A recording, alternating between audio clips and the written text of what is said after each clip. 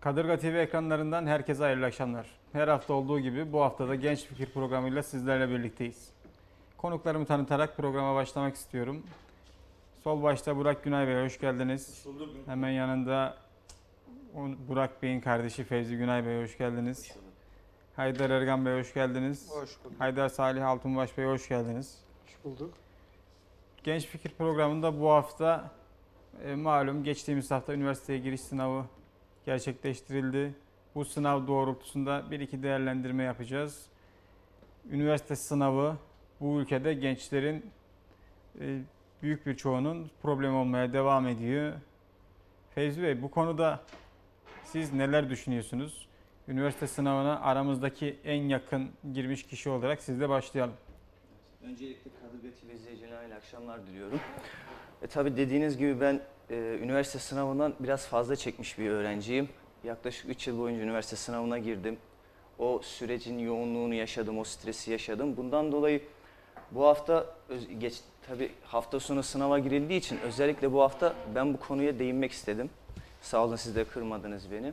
Konuma ben e, tabii az önce dediğim gibi öğrenci gözüyle bakmak istiyorum bu konuya. Öğrenci olduğum için çoğunlukla o süreçte neler yaşandığını bildiğim için ben sınav ne demek, sınav e, öğrenciye nasıl etkiler bırakıyor veya öğrenciler sınava nasıl hazırlanıyor bunlarla alakalı konuşmak istiyorum. E, öncelikle e, Türkiye'deki öğrenciler ilkokul 4 yıl, ortaokul 4 yıl ve lise 4 yıl olmak üzere 12 yıl boyunca bir sınava hazırlanıyorlar ve giriyorlar. Ve e, bu sınavı 12 yıllık boyunca e, öğrendikleri eğitimden sonra 2 saat 45 dakikalık bir sınava tabi tutuluyorlar. Ve bu süre içerisinde ne öğrendilerse bunları cevaplamaları bekleniyor. Tabi böyle olunca benim aklıma da iki tane soru geliyor. Birincisi 2 saat 45 dakikada e, cevaplanabilecek olan konuyu biz neden 12 yıl boyunca öğreniyoruz? İkincisi ki bu bence daha vahim bir durum. 12 yıl boyunca anlatmaktan bitmeyen konuları, başlıkları biz 2 saat 45 dakika içinde neden çözüme zorlanıyoruz? Bu iki soru da aslında birbirinden çok daha vahim ve kötü durumda. Ee, tabii burada daha eğitim anlamında sisteme çok yanlış yaklaşıldığı, sistemin çok en başından yanlış olduğunu tabii görmüş oluyoruz. Ben e, şimdi dediğim gibi asıl e, istediğim konuna gelmek istersem sınav bir sınava öğrenci nasıl e, bakıyor buna gelmek istiyorum. Yine dediğim gibi bir Türkiye'de herhangi bir öğrenci doğduğundan sonra 5 yaşına kadar ailesiyle beraber vakit geçiriyor. Ondan sonra ilkokula giriyor ve ilkokulda kendisine okuma yazma öğrenildiği zaman, öğretildiği zaman şu şekilde öğretiliyor. 12 yıl sonra bir sınava gireceksin ve bu sınavda e, sana anlattıklarımızı e, okuyabilmen için, o soruları okuyabilmen için sana okuma yazma öğretiyoruz. Böyle bir yaklaşımdan başlanıyor. Ardından ortaokula geçiliyor. Ve ortaokulda öğrenciye şöyle bir soru soruluyor. İlkokulda ne öğrendiysen hepsini unut çünkü burası ortaokul. Ve ondan sonra henüz e, fikir alıp verme konusunda e, herhangi bir e, şeyde ne denir? E, problemi yaşayan öğrenciler bir üniversite şey bir e, o liseye geçiş sınavına tabi tutuluyor. Ve ondan sonra liseye geçildiği zamansa yine aynı şekilde tahmin edebileceğiniz üzere şöyle bir söz söyleniyor kendilerine. Ortaokulda ne öğrendiysen hepsini unut çünkü burası lise. Şimdi e, haliyle lise e, bir, hepiniz tabii oralardan geçtiniz ben de geçtim. Lise çok yoğun bir e, tempo içerisinde yaşanılan bir e, dönem oluyor. Çünkü üniversite sınavına hazırlanıyorsun ve sürekli bir tempo, tempo içerisinde oluyorsun. Aynı zamanda insan olarak baktığımız zaman da lise dönemlerindeki yaşlarımız biz e, insan olarak en e, enerjik olduğumuz, en aktif olduğumuz durumlarda için böyle tabiri caizse içi içimize sığmadığı dönemlerde biz masa başına oturup sorular çözülme e, sorular çözülmek zorunda kalıyoruz. Bunlar da böyle olunca niye öğrenci böyle bir şeye tabi tutulduğum denildiğince geleceğin buna bağlı söyleniyor. Ondan sonra ben de şöyle bir soru sormak istiyorum. Ee, Daha doğrusu bir örnek vermek istiyorum. Bizim ülkemizde henüz 18 yaşına basmayan e, insanlar ehliyet sınavını ehliyet dahi alamazken, araba kullanımı hakkı kendilerine henüz verilmezken neden o yaşlarda 65 yıllık bir hayatımızın planı bize sorumlu olarak veriliyor? Kaldı ki şöyle bir problem daha var. Ee, o dönemde daha doğrusu sınava girildiği gün ki çok yanlış yani 12 yıllık e, öğrenim sürecinde bir güne sığdırılmaya çalışıyor bu öğrenim hayatın. O gün atıyorum herhangi bir e, öğrenci hasta olamaz mı? Hasta olunca o sınava e, giremeyecek haliyle hasta olduğundan dolayı. Peki o öğrencinin 12 yıl boyunca çalıştığı eğitim hayatı, o çabaları boşa gitmeyecek mi? Veya başka bir örnek. O öğrenci e, tabii sınava girdiği için o stres altına giremeyecek mi? Stres zaten lise hayatı boyunca full stres içinde yaşıyor. Veya başka bir örnek. Ee, ne, neydi o? Şey, kusura bakmayın çok fazla yorgunum. Çok da fazla bu sınava şey e, bu konuya hazırlanırken e, çok Bu dolu olduğum için çok dolu çok olduğum için çok fazla çok fazla Araştırma yaptım. Evet çok fazla araştırma yaptım. O yüzden konular arasında karışıklık yaş- yaşayabiliyorum. Veya işte e, ne denir? O gün morali bozuk. Heh, morali bozuk. Yani morali bozuk olamaz mı? Bu kötü bir haber alsın veya almasın fark etmez. Biz normal hayatımızda karşılaşmıyor muyuz? Bir arkadaşımızla çay içmeye gideceğimiz zaman hani onu e, çay içmeye davet ettiğimizde ya ben bugün gelmek istemiyorum. Çok yorgunum. Moralim bozuk. Yani yarın bulursak olmaz mı demiyor mu? Karşılaşıyoruz bunlarla. Peki o öğrenci böyle bir duruma karşı karşıya geldiğinde sınava gittiğinde sınavı başarısız olduğunda ne yapacak? Bu vebal nasıl ödenecek? Veya işte dediğim gibi stres altında oluyor ve bütün bu streslerden sonra üniversite sınavı üniversite sınavına girileceği gün e, stres o üniversite sınavının stresi de aynı zamanda o insana yüklendiği zaman o insan başarısız olamaz mı? O sınavı yapamıyor. Veya her sene haberlerde gördüğümüz gibi baygınlık geçiren birçok insan oluyor. Yani böyle bir ortamda ondan sonra o öğrenciye başa, o öğrenciden başarı bekleniyor. Böyle bir başarı beklenebilir mi? El cevap hayır. Bunun dışında şu, e, başka bir sorundan bahsetmek istiyorum. Bu da e, öğrencilerin daha doğrusu eğitim sisteminin eğitim sistemindeki adaletsizliği. Bunu Profesör Doktor Haydarbaş hocamız çok güzel özetliyor. Ben o yüzden onun sözünü söylemek istiyorum. Diyarbakır'da köyde yeterli öğretmeni bile olmayan bir devlet bir okuldaki genç öğrenciyle Galatasaray Lisesi'nde okuyan öğrenci aynı başarıyı gösterebilir mi? Yani şimdi Diyarbakır'da bir köy okulunda henüz Türkçe öğretmeni veya matematik öğretmeni dahi olamayan bir okulda o öğrenci dersini görmediği sınavın e, şey sorularını tabi tutuyor, sorulara tabi tutuluyor. Şimdi bu öğrenciyle Galatasaray Lisesi'nde ki nasıl yetiştiğini gayet iyi biliyorsunuz o liselerde öğrencilerin. O lisenin girdiği sınavda aynı başarı gösterilebilir mi? El cevap tabii ki de hayır. Başka bir probleme geçelim. Malum ekono şey e, e, eğitim anlamında problemler bitmiyor. Bu da malum gençler dediğim gibi geleceğe emanet ediliyor gençlere ve bu gençlere e, dediğim gibi 65 yıllık planı yapılması isteniyor ve bu gençler e, ekonomik şartlardan dolayı ülkenin en yüksek maaş neresiyse buraya yönelmeye çalışıyor. Yani ne kadar yüksek maaş alırsam, geleceğim ne kadar garanti altına alınırsa o bölge, o e, şeye, mesleğe yönelmek istiyor. E, haliyle de şöyle bir problem ortaya çıkıyor. E, o bölümde yeteneği olmayan ve o bölümde herhangi bir e, vasfı olmayan insanlar o bölüme seçiliyor ve toplanıyor. E, ardından mezun olduktan sonra e, o bölümde herhangi bir ilerleme kat edemeyen bir nesil ortaya çıkıyor. Ve bu şekilde böyle bir ortamda da ülkenin daha ileriye taşınması bekleniyor. Böyle bir şey tabii ki de olamaz. E sadece bununla da kalmıyor. O öğrenciler istemediği bölümleri seçerek kendilerinin aslında yetenekli oldukları, ileriye dönebilecekleri, ülkeyi daha ileriye taşıyabilecekleri bölümleri malum şartlardan dolayı seçemiyorlar. E bunun sonucunda da ülkenin herhangi bir e, ileriye dönük bir hareketi bulunmuyor. Bu, e, bunu söyledim çünkü şuraya dikkat etmenizi istiyorum. Çünkü bana göre bir ülkeyi ileriye taşıyan, o ülkenin veya aynı sabit kalmasını sağlayan veya daha kötüsü o ülkeyi geriye doğru e, adım attıran bir kurum varsa bu kesinlikle bence eğitimdir. Bununla alakalı bir e, söz var. Bunu size söylemek istiyorum ki çok hoşuma gidiyor bu söz. Güney Afrika'da bir üniversitenin girişindeki yazıda bahsediyor bu. Bir ülkeyi yok etmek için atom bombası veya uzun menzilli füzelere ihtiyaç yoktur. Bunun için eğitim seviyesini düşürmek yeterlidir. Bunun sonucunda hastalar doktorların elinde can verir. Binalar mühendislerin elinde çöker. Para ekonomistler elinde kaybolur. Adalet hakimlerin elinde yok olur. Kısacası eğitimin çökmesi bir ulusun çöküşüdür. Ümit Bey, bu söz bana şu an çok tanıdık geliyor. Bilmiyorum Feyzi Bey Tabii. böldüm ama Evet, biraz da dediğim gibi yani ondan dolayı değinmek Afrika'daki istedim. bu söz bana şu anda çok tanıdık geliyor günümüzde. Nereden tanıdık geliyor? Şöyle kafasını kaldırıp biraz etrafa bakınca yeterli olur tanıdıklık. Evet. Devam edebilirsiniz. Sağ olun. Feyzi Bey. Dediğim gibi aslında olay tam olarak bundan ibaret. Yani biz ülkemiz adına bir ilerleme kat etmek istiyorsak, gelişim göstermek istiyorsak ilk bakacağımız şey eğitimdir. E, eğitimin problemi de gördüğünüz üzere yani gerçekten çok işler acısı. 3 saattir anla- yani bayağıdır anlatıyorum burada. Problem bitmiyor da bitmiyor. Sürekli farklı bir problemler görüyoruz. E peki bu kadar problem anlattım. Bunun çözümü ne? E çözümü çok basit. Profesör Doktor Haydar Baş hocamızın bize söylediği sözlere uymak, onun dediklerini yapmak aslında bizi çözüme ulaştıracak. Mesela nedir bir problemi? Ekonominin adaletsiz, e, e, eğitimin adaletsizliğiyle alakalı bir problem mesela az önce söyledim. Bunun çözümü çok basit.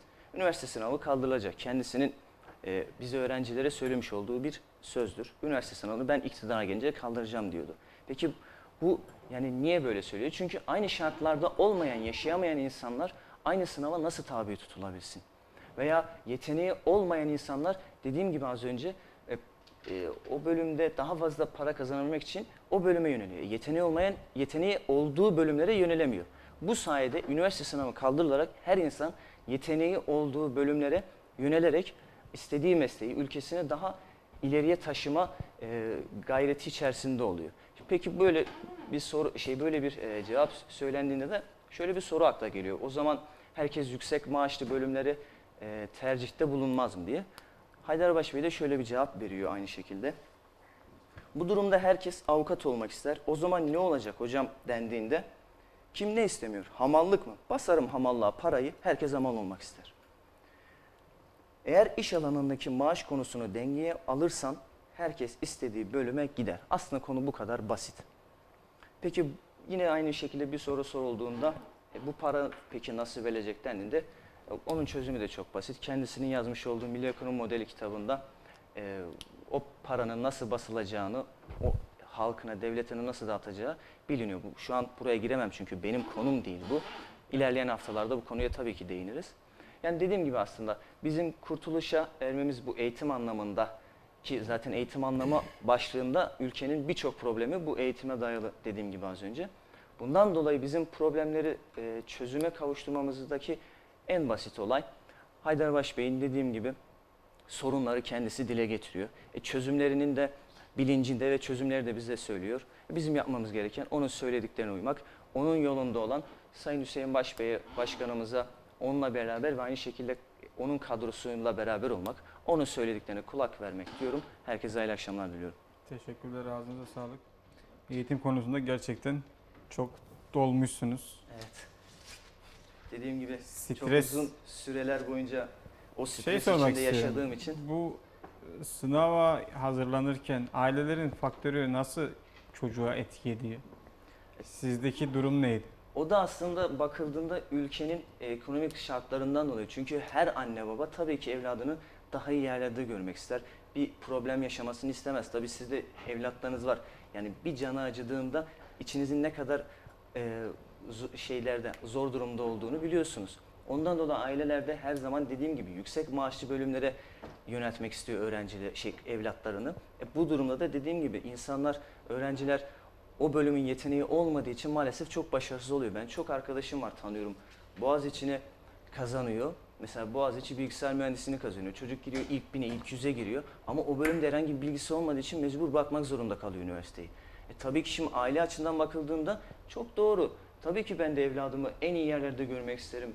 Sıkıntı yaşamamasını isterim ama e, böyle olunca da o evladın bir ömrü boşa gitmiş oluyor. Yani Ondan ailelerin bu çocuktan beklentisi çocuğa aşırı stres ola- olarak yansıyabiliyor. tabii tabii ki. Dedi, evet. Evladım biz yandık siz okuyun yanmayın. Okuduktan sonra Evet. da sizin beyninizi yıkamışlar. deniyor biraz konu. Aynen öyle dediğim gibi. Eğitim konusu ülkemizde uzun yıllardır sıkıntılı, sıkıntısı bitmeyen bölüm bir başlık. Ee, bu başlığın sıkıntısı bitmediğini niye söylüyoruz? Çünkü biz eğitim sisteminde yani kısa süreler içeris- içerisinde çokça değişiklik yapıyoruz. Bu değişikliklerin hiçbiri olumlu veya pozitif yönde bir sonuç doğurmuyor. Yani benim üniversite sınavına girdiğim dönemden bu döneme muhtemelen 3, 4 belki de 5-6 kere sınav sistemi değişmiş.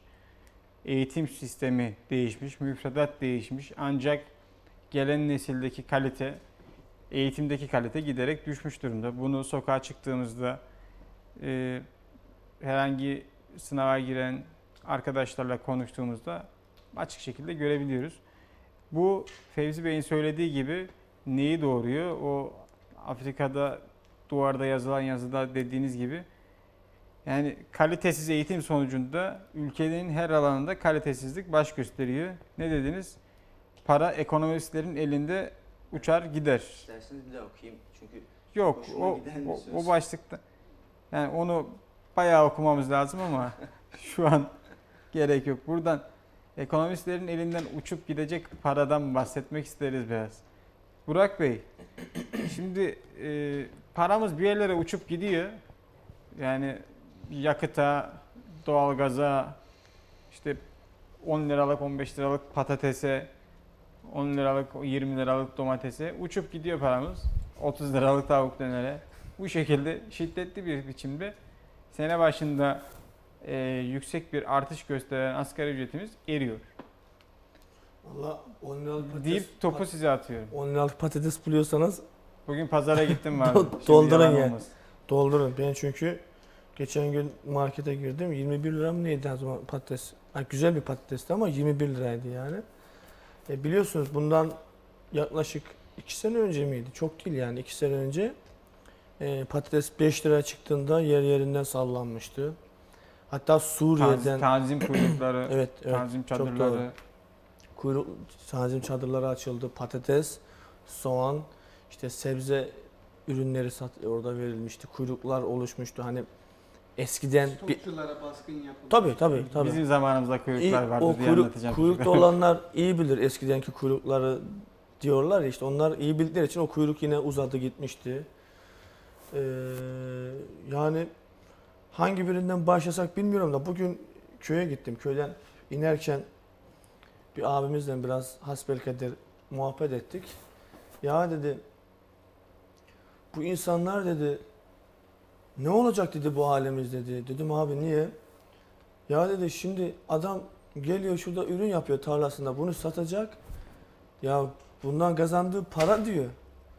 Buraya harcadığı para kadar etmiyor diyor ya. Şimdi Etmiyor maalesef.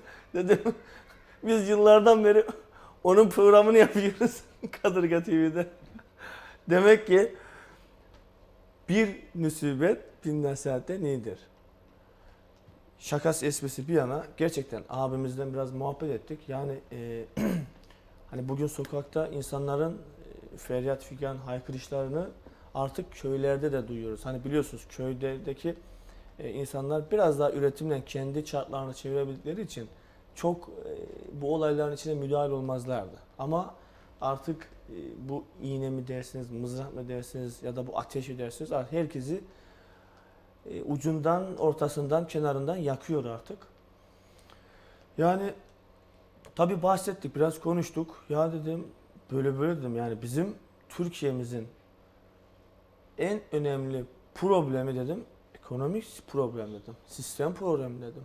Bugün dedim Türkiye Cumhuriyeti kapitalist sistemi, kapitalist ekonomi modelini uyguladığı için dedim bu anlattığımız, bu konuştuğumuz olaylar er ya da geç bu noktaya gelecekti. Ha bazı stratejilerle beraber bu hızlandırıldı. Bazılarla beraber aynısı zaman içerisinde geldi ama bugün dedim sizin hayalinizdeki en iyi bu işi yönetebilecek bir insan dedim. Bu sisteme koyduğunuz zaman bir şey fark etmeyecek. Kapitalist sistemde çöküş kaçınılmazdır. Ha nedir? Bak dedim Profesör Haydar Baş Bey dedim bir ekonomi sistemi yazıp dünya literatürüne sundu dedim. Bugün dünyadaki birçok ülkeler bunu uyguluyor. Yani birçok ülke. Ha bakıyorsunuz mesela geçen haftalarda da bahsettim. Yani bu ülkelerin çok büyük, güçlü olmasına gerek yok. Her ülke bunu uyguladığında kendi açısında pik yapıyor. Mesela Azerbaycan. O da kısmı uyguluyor. Bakıyorsunuz Azerbaycan manatı 10 liraya geçti. Ya biz şu koltukta konuşmaya başladığımızda Türk lirası 5 katındaydı Azerbaycan manatı. 5 kat. Biz yıllardan 10 yıllardır 20 yıllardır burada konuşmuyoruz yani. Yani Biz aradaki, konuşarak mı düşürdük? aradaki farkı hayır ben zaman dilimi olarak göstermeye söylemeye çalışıyorum. Aradaki farkı bizi izleyen sizler çok iyi bir şekilde anlayabilir. Kaç yıldır konuşuyorsunuz Burak? Yani 8 yıl diyebiliriz herhalde. Üniversite üniversite sınavına Ya 8 yıl insan ömründe aslında çok kısa bir süre. evet. Ama ülkenin çöküşünü görmek adına Çok gerçekten çok bizim enteresan. açımızdan Çok enteresan bir durum. Yani gençliğinizin e, baharı tabii bir şekilde bu da tabii e, bu amca da tabii ben bunu söyleyince ya dedi çok doğru söylüyorsun ya dedi ben anlamıyorum dedi bu insanları. Ya bu hükümet gördük dedi yani bu işi beceremedi. Ya neden dedi bugün dedi bir Hüseyin başı işte bir farklı şeylere dedi insanlar denemiyor. Ya bir dene bakayım dedi. Bir dene göreceğiz dedim abi tabii ki de dene göreceğiz dedim. Görüyoruz çünkü bunun karşılığını milli ekonomi modeli sistemin karşılığını görüyoruz. Yine dün bir abimizle muhabbet ediyoruz. Ya dedi bu Amerika dedi dolarla dedi işte ülkelere dedi dolarını şey yapıyor işte veriyor. Dedim evet milli paralarla ticareti Profesör Haydar Baş Bey bu yüzden yazdı. Her ülkenin parasının karşılığını alabilmesi için yazdı. Bak Rusya dedim. Dedi ki doğal gazımı dedi benim paramla alacaksınız bitti. Adamın ekonomisi dimdik ayakta ama bu fikri nereden biliyor? Milli ekonomi modeli açıyor kitabı. Milli ekonomi modelinde bu sistem yazıyor. Profesör Haydar Baş Bey'den bu sistemi dinlemiş, öğrenmiş. Neyse biz dönüp gelelim tabii kendi ülkemize. Çünkü biz bu vatanın evlatlarıyız. Bu toprakların evlatlarıyız. Dedelerimiz bu toprakları bize bırakabilmek için savaştı. Canını kanını döktü. Bizler o yüzden bu emanete sıkı sıkı sarılmanın derdindeyiz. Yani Gazi Mustafa Kemal ve silah, silah arkadaşlarıyla beraber o silah arkadaşlarında tabii dedelerimiz de var. Onların emanetine sıkı sıkı sarılmakla mükellefiz. Şimdi önümüz biliyorsunuz haftaya bir sonraki hafta mı 10 gün mü ne kaldı? Kurban Bayramı. Ya Kurban Bayramı hakkında e, genel bir araştırma yapıldı Ümit Bey. Herhalde bu sene kurban tarihinin en kriz yaşayan kurbanını geçirecek ve yaklaşık çok büyük bir oran dörtte bir noktasında düşüş bekleniyor. Evet. Çünkü büyükbaş hayvanlarda yüzde 108 Dörtte üç mü? yok dörtte bir düşüşle beraber dörtte üçlük bir hacim bekleniyor. Büyükbaş hayvanlarda yüzde 108 bir zam şu anda var. Yani daha 10 güne ne olur belli değil. Çünkü hani dediniz ya 8 yıl ülke için çok aslında kısa bir süre derken biz artık ülkedeki zamları bir güne bile çok uzun bir süre diyoruz yani öyle. Siyasette 24 saat çok uzun bir süre. İşte onu bugünleri gören kişi söyledi. ben buna eminim. Küçük başlarda da %90'ın üzerinde bir zam artışı şu anda var. Ve daha dediğim gibi yani şu 10 günlük süreç daha gelmedi. Ya bakıyorsunuz etin fiyatı bugün itibariyle kasapta 90 liraların üzerinde. E süte bakıyorsunuz 15 lirayı geçmiş litresi. markette 19 lira ya. Ya işlem gören bir süre Evet. olduğu için biraz daha öyle oluyor. Ya şimdi bu fiyatlar şimdi çiftçi ben buradan şunu anlıyorum. Çiftçinin bir elinde hayvanı kalmamış demek oluyor. Ya da hayvan artık o kadar getirisi az ki bu fiyatlara çıkmak zorunda. Maliyetler uçmuş. Bakıyorsunuz 80 lira olan gübrenin çuvalı bugünlerde 800 lirayı devirmiş. Ya ben bu yıl o kadar çok tanıdığım çiftçi var ki tarlasındaki buğdayı gübresiz dikti. Ve seneye göreceğiz raflar. Hani bugünlerde konuşuyorlar ya raflarımız hakkında. Evet. Seneye rafları asıl seneye göreceğiz. O çıkmayan buğdaydan, yetiştirilmeyen tarım ürünlerinden, tar- arazisini, tarlasını bırakan çiftçilerin bu yılki hasadını seneye göreceğiz. Bugün diyoruz ki bakın şekerin çuvalı 1200 lira. Ya tam bir yıl önce şeker bir çuval şeker almıştık 250 liraya. Evet. 200. Daha şeker çuvalı bitmedi. Bugün şeker 1200 lira. Ya şuradaki Görüyor musunuz? Enteresan durumu. Şimdi o 16 fabrika özelleştiğinde dedik ki bu işin sonu son değil. Bu skandal ülke ekonomisine, ülke tarımına ve halkın raftaki şekeri için bu iş skandaldır dedik. Neden? Nedeni var yani satıyorsun. Kime satıyorsun bu fabrikaları? Sattığın kişi devletin istihdamını aynı şekilde garanti veriyor mu? Ben diyor şeker üretmeye taahhütünü veriyorum ve o çiftçinin o malı diktireceğim, ondan o malı alacağım dedi mi? Yok, yok, yok.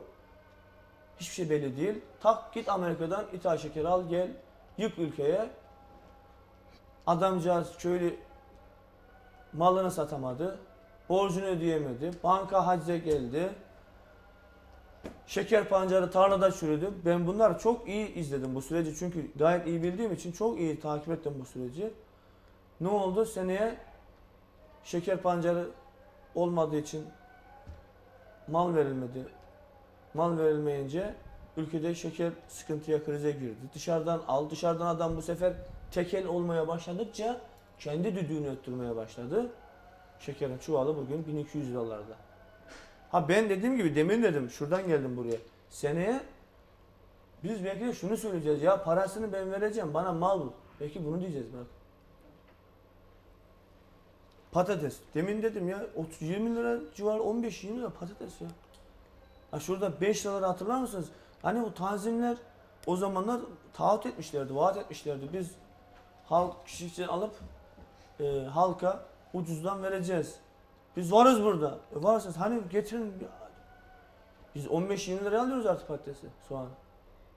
Ya plan proje yakıyor. Bizim ülkemiz böyle bam güm yönetildiği için herkes de bam güm takıldığı için kim kime ne tutturursa Ha, mantığıyla ilerliyoruz işte. ha bazı arkadaşlar şunu söylüyor işte bunlar da bazı kuruluşların yapmış olduğu zamlar. E, eyvallah tamam madem öyle. O zaman neden suya yüzde 40 zam getirdiniz? Ben ondan mı özel? Yok. E, elektriğe niye zam geliyor? Devletin doğalgazına bunlara niye zam geliyor? Bu soruları soruyoruz. Birileri yönetemiyor. Vergilere zam geliyor. Muayenelere zam geliyor. Her şeye zam geliyor. Yani ya bir tane iki tane ürüne zam gelse abimin dediğini anlayacağım da zam gelmeye şey yok ya. Maaşlara zam geliyor mu? Bir Evet. zama zam geliyor. Maaşlara notumu almışım Ümit Bey. E, Cumhurbaşkanına 40 bin lira zam, milletvekillerine de 17 bin TL zam geldi. Yani iki kalem zam var maaş noktasında. İyi hayırlı olsun. Hayırlı olsun. Ne diyeyim? Şimdi değineceğim bir nokta var. Şu an itibariyle dolarda bir bir, bir düşüş yaşandı. Ee, anlık bir düşüş oldu. Ufaktan bir tırmanıyor yine. 16 lira 70 kuruşlara falan düştü. Ve özellikle Brent petrolün fiyatına baktım programa başlamadan önce Haydar Bey e, ile bir diyalogdaydık. 110 dolara düşmüş. Ümit Bey bakın 2007'deki rakam bu. 110 dolar. E şuradan çıktığımızda neden petrol akaryakıt istasyonlarındaki rakamlar düşmüyor? 2008'deki 2007'deki rakama inmiyor. Aklımızı kaybetmeyelim Dolar diye olabilir yani. yüksek. Tamam doların yüksek olduğu Öyle kadar olsa- yukarıda olsun. 2007-2008'deki rakamın neredeyse 8-9 katı. Ben de ona bakıyordum ya. Dolar 2007'de kaç liraymış? Yani dolar 2007'de yaklaşık 8-9 olarak herhalde bir 2 lira, 2,5 lirası vardı yanlış hatırlamıyorsam. 1.32. 1.32 mi? Yani daha da hat- şeymiş. Yok 1.32 değildir ya. 1.32 değil. daha da 1.32. düşük fiyatı. Öyle mi? İnternet ürün. Vay be. Ben de Ya diyorum Brent petrol 2007'den ben dolara dönem aynı. Ama işte doların burada etkisi var. Bir de doları bu seviyeye çıkaranlar O zaman şey demek ki burada suç dış güçlerin değil kardeşim. Brent petrol aynı. Doları ve dövizi ekonomiyi aynı noktada tutamayan İktidarın Hükümetin suç. Dış güçler yok güzel kardeşim. Bizi izleyen ve dinleyen o insanlar, seyircilerimiz. Demek ki burada problem ve suçlu belli. O zaman ne diyoruz? Bizler bu işi beceremeyenlerle değil. planı, projesi, tezi, programı olan aklı hür, kafası çalışan insanlarla beraber yola devam etmemiz gerektiğini ben söylüyorum. Bakın Ümit Bey, 2000 yıl 2000 yılındaki dünya büyük krizini bu ülke atlatmıştır biliyorsunuz. Nasıl atlattı? Bak bence bugünlerden çok daha büyük bir krizdi o. Yani bence değil, bu böyle zaten. O zamanki Türkiye Cumhuriyeti devleti halkına temel ihtiyaçları, azami ürünleri karşılayabilecek güçteydi. Ve karşıladı. Dedi ki, tamam ekstraları dünyada bir kriz var. Ekstraları size sunmak belki gerekmiyor, sunamam. Ama ben dedi her vatandaşımın temel ihtiyaçları ve azam ihtiyaçlarını karşılayabilecek güçteyim ve karşılıyorum dedi. Türkiye Cumhuriyeti 2000 yıl krizini bu şekilde rahatlıkla atlattı.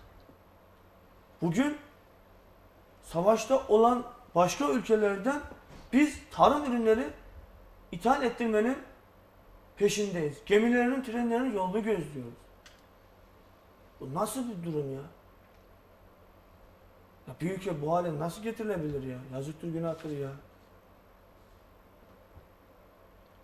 diyorsunuz ve teşekkür ediyorsunuz. Çok Anladığım uzatmak istemiyorum. Diğer arkadaşlarım çünkü bugün biraz kalabalığız. Diğer arkadaşlarıma sözü bırakmak istiyorum Bey.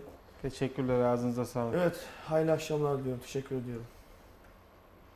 Şimdi buradan bize gösterdiğiniz doğrultuda ilerleyecek olursam ne dedik?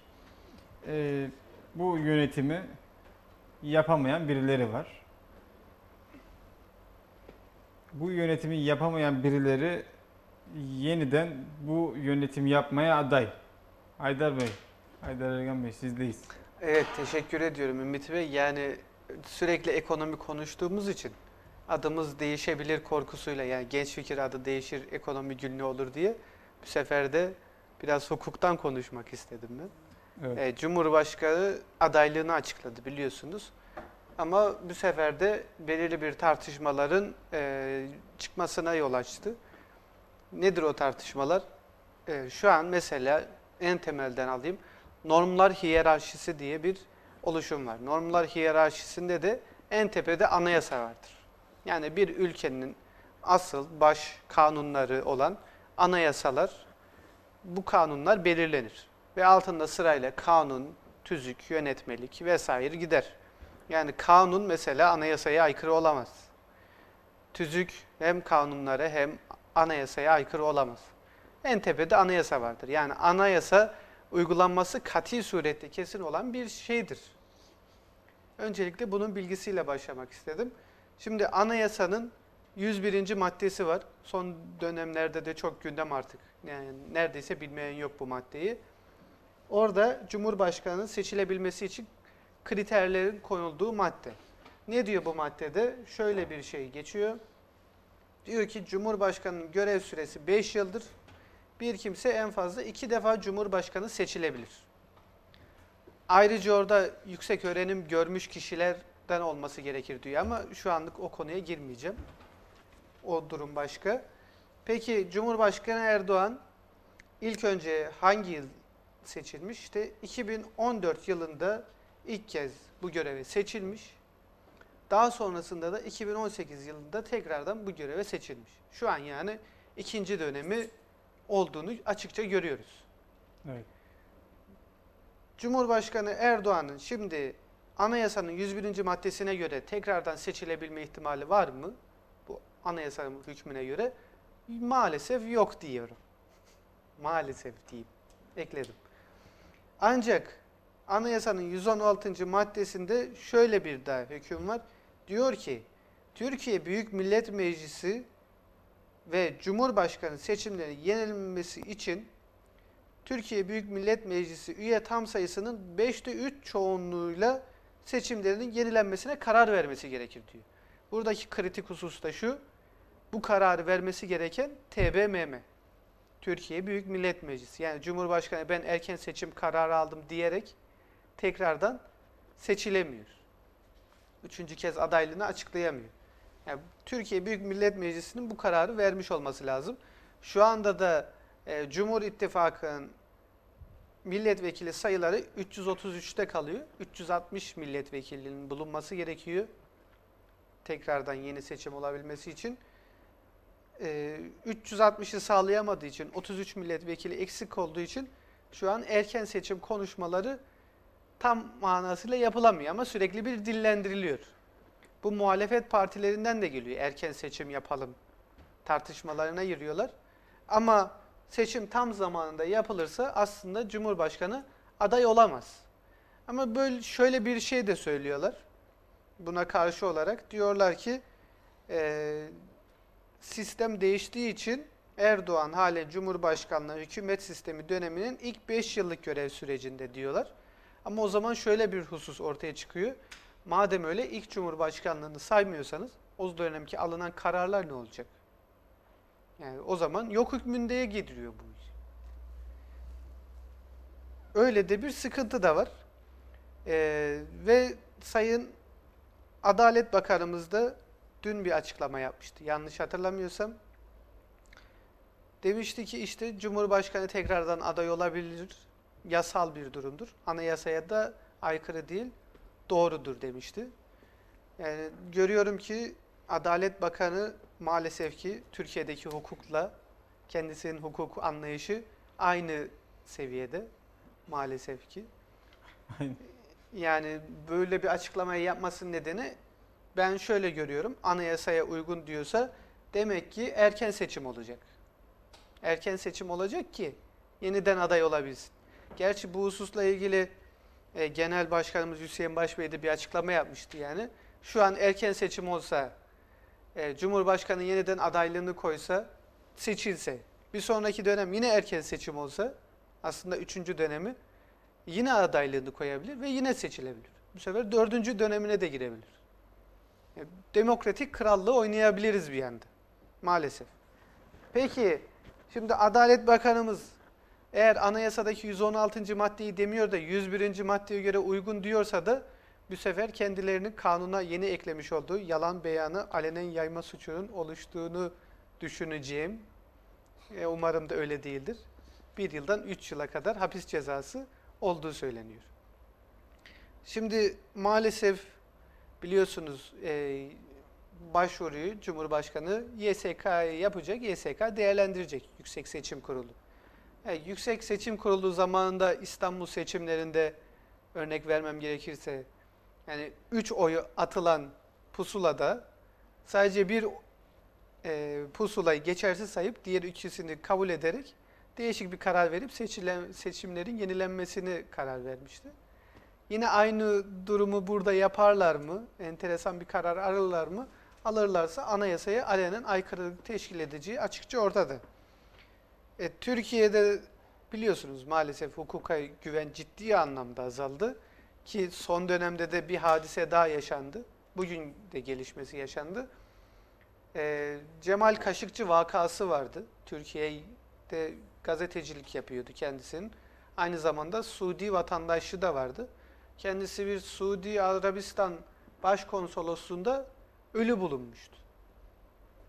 Bu olayla ilgili soruşturmalar yapılmıştı. Sonra e, Suudi Arabistan Veliaht Prensi e, Selman'ın bu işin tetikçisi olduğunu falan söylemişlerdi.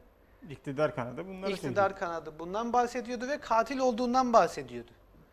Ve bu bahsedilen Veliaht Prens Selman önceki gün mü geldi Türkiye'ye? Türkiye'yi ziyaret etti. Yani bütün bakanlar takip Bütün etti ben takip bakanlar- etmedim. bütün Yani. Cumhurbaşkanı, bütün bakanlar sıraya girdi. Hepsi tek tek eee, orada selamlaştı diyelim. Yani Ee, öyle diyelim hadi. Yani zamanında eee, bu katil olan bir kişi bir anda şu an çok iyi biri oldu. Şey diyorlardı ya. Hatta evet, Herkesi parayla satın alamazsın, bunun hesabını vereceksin. evet. eee, şu Demek anda herkesin dolar bir ederi var. herkesin bir ederi doların düşmesi de şu an bir soru işareti olarak ortada duruyor. Ve bir gelişme daha yaşandı bugün. Ee, bu davayla ilgili zaten davayı Suudi Arabistan'a iade etmişti Türkiye. Aslında yapmaması gereken bir karardı. Bugün de 26 tane sanık olan, Suudi sanık olan kişilerin suçları düşürüldüğü kararı verildi. Bu kararla ilgili de hemen yani bu veliaht prensi gelişin ertesine olması ciddi bir şüphelerin uyandırmasına neden oldu. İnşallah millette de uyanmıştır. E şimdi bakıyorsunuz siyasilere e, Cumhurbaşkanı Erdoğan veya iktidar kanadı bir açıklama yapıyor. İşte hukukla ilgili işte o adamı çıkarmayacaksınız, onu öyle yapacaksınız. Bir nevi talimat veriyor. Veya muhalefet partilerine bakıyorsunuz. Muhalefet partileri diyor ki ben başa gelince onu serbest bırakacağım. E burada hukuk sizin elinizde mi yani? Yani hukuk normlar hani pardon kuvvetler ayrılığı prensibi vardı. Hani yasama, yürütme, yargı ayrıydı. Yargı tam bağımsızdı. Biz öyle biliyoruz. Hukukun üstünlüğü anlayışı vardı. Yani bütün bu eğitimleri aldık hukukta hani. Ama maalesef yine teoride öğrendiğimizi pratikte başka bir şekilde karşılıyoruz. Yani burada hukuka gereken saygının gösterilmesi ve hukukun rahat bırakılması gerektiği düşüncesindeyim. E, ben süre aştığı için fazla da sözlerimi uzatmak istemiyorum. Teşekkürlerimi sunuyorum. Teşekkürler ağzınıza sağlık. Cumhurbaşkanı dedik tekrar aday olacak. Aday olsun, olsun olmasın anayasaya aykırı vesaire tartışmaları devam ediyor. E sonrasında ekonomik konulardan konuştuk. E, Kral Selman'ın gelişi, Kral Selman'ın gelişinden sonra verdiğimiz tavizler, artık kapitülasyonlardan bahsedildi hep kitaplarda. Yine Birleşik Arap Emirlikleri ile ilgili de bir hadise olmuştu. Hatırlarsınız 15 Temmuz'u finanse eden Evet. ülke bu demiştik. Sonra onları da burada ağırladık. Yani ben Sonra Bunun- yine dolarda bir oynama oldu. Yani tesadüf herhalde. Bunları yaşayıp görüp e, kendi zihnimde değerlendirince Mustafa Kemal'in hep o biz burayı savaşarak kazanmış olabiliriz ama ekonomik bağımsızlığımızı elimize almadan tam bağımsız sayılmayız söylemleri aklıma geliyor. Adam resmen geliyor. Yani biz hep bağırıyoruz ya bu coğrafyada bizi yönetenler deliler gibi. Ee, çok güçlüyüz, şöyleyiz, böyleyiz, ulan İsrail, ulan falan, sen şöylesin, sen böylesin diye bağırıyoruz, atıp tutuyoruz. Sonra ne oluyor? İşte Kral Selman geliyor. Bütün bakanlar el pençe divan. Birlikte şarkılar, Şarkılar, yemekler, hatta ziyafetler. Yani bir, birkaç şarkı fecaatti ya. Mana Yani- olarak çok, Ma- mana mana olarak. olarak çok enteresan şarkılar Yani vardı. Kemal Sunal'ın şeyi vardı ya manası çok derin. Biraz ona gidiyor. Marmaris'teki olayın olduğu geceydi galiba yemek değil mi? Yangın. Marmaris'teki yangın daha önce başladı. Devam ediyordu yani. Veliaht Prens sonra geldi. What? Yani İçişleri Bakanı da bir söylemi oldu ya Evet, sabahtan biz akşama sabah- kadar buradaydık diye sonra görüldü ki günlerdir- Mersem yemekteymiş Ankara'da. Neyse Öyle bir hadise. Bu konuları değerlendireceğiz. Cumhurbaşkanı tekrar seçilirse neler yapacak deyip pası Haydar Salih Bey'e atmak istiyorum. Evet Haydar Salih Bey ne diyorsunuz? Cumhurbaşkanı aday oldu, tekrar seçildi. Ne değişir? Ne değişmez? Bir şey değişebilir mi? E Ben öncelikle biz takip edenlere hayırlı akşamlar diliyorum. E, tam da aslında bu noktadan girmek lazım. Mesela Haydar Bey'in devamı olarak çok süremizi de açtık kısa konuşmaya çalışacağım. Velev ki Cumhurbaşkanı aday olsun, karşımıza gelsin deyip bu varsayımdan e, bir tane soruyla başlayalım biz.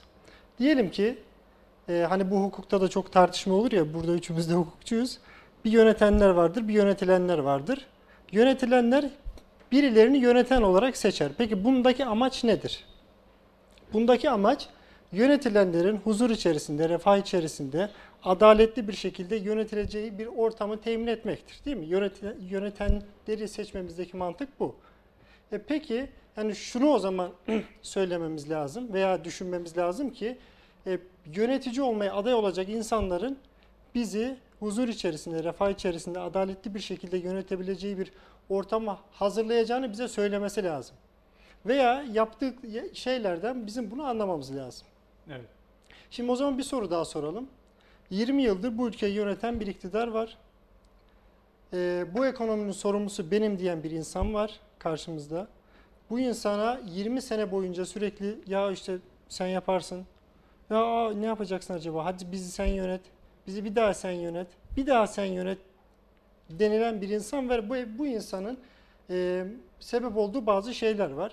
Daha doğrusu bu e, bu insanın oluşturduğu bazı şartlar var. E, bu insan kim peki? Cumhurbaşkanımız. Şu andaki mevcut Cumhurbaşkanımız, geçmişteki Başbakanımız. Yani Sayın Recep Tayyip Erdoğan. Şimdi bu iki meseleyi bir arada düşündüğümüzde yani yöneten yönetilen meselesi ve e, dediğim gibi bu 20 yıllık süreçte başımıza gelenler birlikte düşünüldüğünde şimdi ortada şöyle bir şey var. Bu insan yani tekrar ben aday olacağım, karşınıza geleceğim, sizi yönetmeye ben adayım diyen insan daha dün karşımıza çıkmadı. Yani söylediği şeyler yeni şeyler değil. Bu Evet. bir. İkincisi e, bu insanın ülkeyi 20 senede getirdiği nokta ortada. E, üç, e, bu insana vahiy de gelmedi. Çünkü o işler bitti artık. E, vahiy de gelmedi. Dolayısıyla bu insanın ya ben bundan sonra ekonomiyi şöyle şahlandıracağım. Ben bundan sonra ekonomide öyle şeyler yapacağım ki bakın göreceksiniz deyip de somut bir argümanı var mı? E, yok. Tabii ekonomi modelleri var. İşte Sayın e, Ekonomi Bakanımız 2021 yıl 2022 yılının başında diyordu ki işte e, yaz aylarına doğru enflasyon düşecek maalesef ki düşmedi. E, yine Sayın Cumhurbaşkanımız söylemişti yanlış hatırlamıyorsam Şubat ayında 2023 Şubat ayında bakın görün enflasyonu nasıl düşüreceğiz açıklamasında bulundu. Yani öteleyip öteleyip dur- duruluyor ama hiçbir zaman şu söylenmiyor. Ya biz şunu uygulayacağız, şunu yapacağız, enflasyonu bu şekilde düşüreceğiz denmiyor maalesef. Hep bir hikmet aranması isteniyor yani sözlerde. E, dolayısıyla işte bizim bu insan o zaman e, biz bu insanı seçmeyiz tekrar aday olursa karşımıza gelirse. Yani veya da seçmememiz lazım. Böyle söylememiz lazım. Evet. Çünkü e, şimdi buradan hareketle dedik yani bu ülkeyi getirdikleri nokta ortada diye. Biraz da bundan aslında örnek verip somutlaştırmak gerektiğini ben düşünüyorum.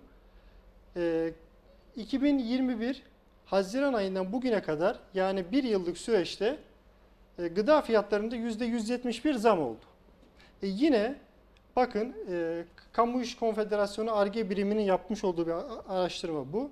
Birkaç istatistik aktarmış olalım. Birkaç zam e, oranı aktarmış olalım.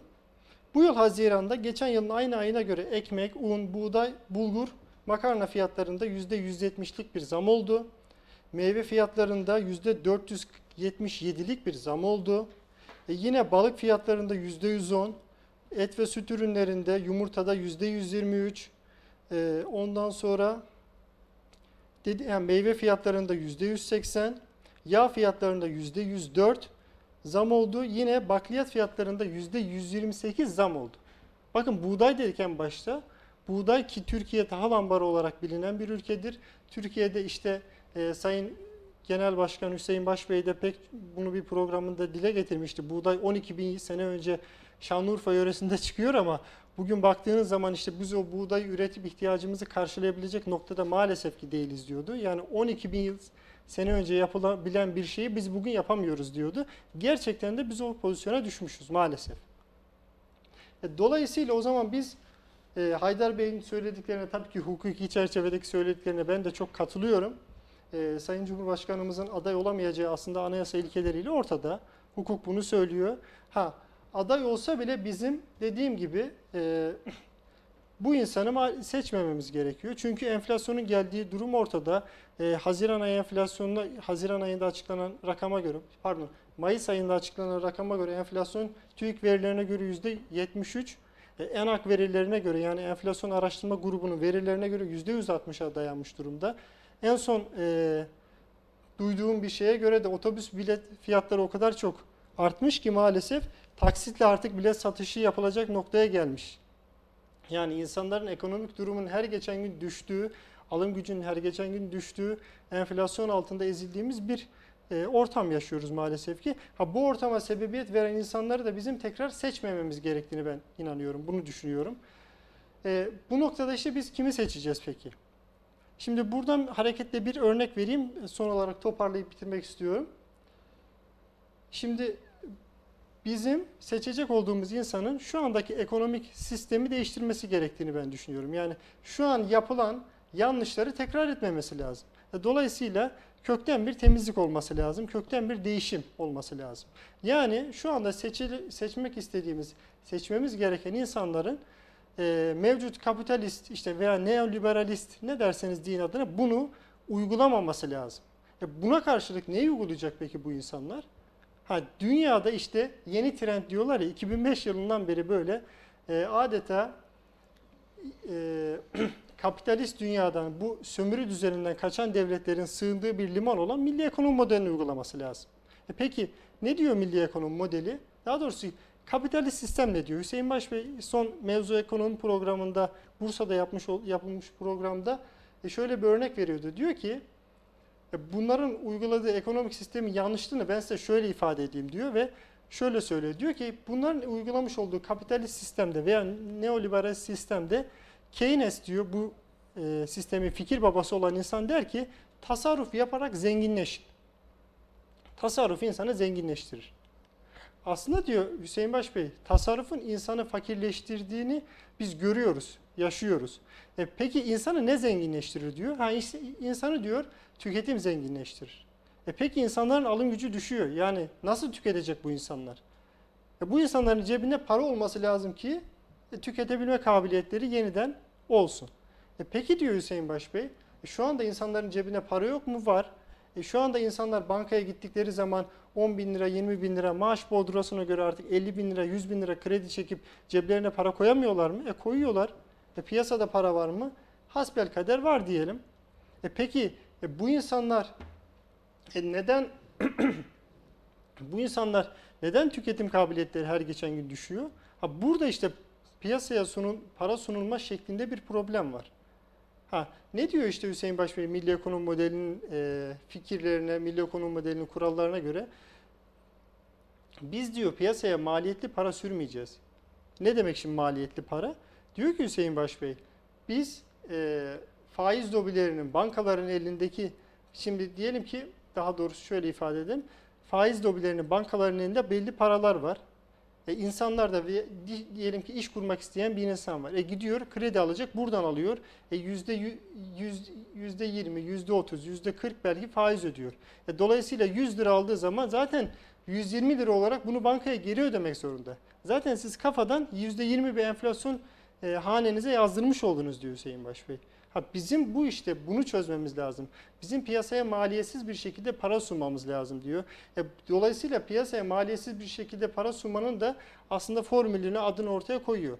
Ne diyor Hüseyin Baş Bey? Milli ekonomi modelinde diyor öyle projeler var ki vatandaşlık maaşı var, ev hanımı maaşı var, işte öğrencilere ücretsiz burs var, proje mukabilinde insanlara faizsiz kredi verilmesi var vesaire vesaire vesaire var. Yani insanların cebine biz maliyetsiz bir şekilde para koyacağız diyor Hüseyin Baş Bey. E bu para da peki şimdi e, şu andaki para gibi bir para mı? Hayır. Haydarbaş Bey işte literatüre yeni kazandırmış olduğu bir para tanımı var. E bu parada ne diyor Haydarbaş Bey? Biraz uzattık belki ama toparlamaya çalışıyorum. Ne diyor Haydarbaş Bey? E paraya emek ve üretimin karşılığıdır diyor. E dolayısıyla şimdi emek ve üretimin karşılığı olan paranın şu andaki mevcut e, literatürden iki tane daha farklı özelliği var diyor Haydarbaş Bey. E nedir o? Birincisi para diyor tahrik unsurudur. İkincisi emek ve üretimin karşılığıdır ki bunu kendisi söylüyor. Üçüncüsü mübahale yani değişim aracıdır. Ve dördüncüsü diyor paranın tasarruf özelliği vardır. Ve Haydarbaş Bey diyor ki Milli Ekonomi Modelinin 81. sayfasında biz diyor piyasaya maliyetsiz para suna- sunarsak yani biz diyor vatandaşın cebine para koyarsak hatta Hüseyin Baş Bey Trabzon'da yapmış olduğu bir konuşmada ısrarla bunun üzerine basıyordu. Biz diyor cebinize para koyarsak şöyle olur diyor. Emeği devreye koyan, altı duran yeraltı ve yerüstü kaynaklarını harekete geçirecek ekonomik değer üreten, tüketicinin ihtiyaçlarını talebe dönüştüren, piyasalarda oluşan talebe cevap verecek üretimi devreye koyan, üretim fonksiyonlarını tetikleyen, üretimde ve tüketimde tahrik unsuru olan, mal ve hizmetin karşılığı olan maliyetsiz para ekonomideki her şeydir diyor. Yani adeta bir can suyudur diyor. Haydarbaş Bey. Yani buradan aslında şunu da çıkartabiliriz.